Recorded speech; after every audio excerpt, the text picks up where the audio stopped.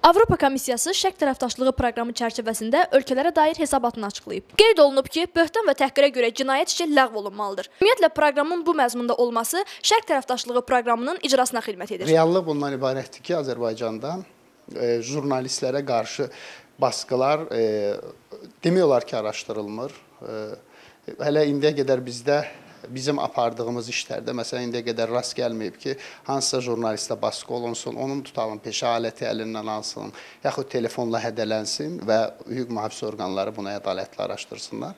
Qeyd edək ki, Şərq tərəfdaşlığı proqramı 2008-ci ilin may ayında Avropa Birliyinin üzvləri olan Polşa və İsveç tərəfindən irəli sürülüb.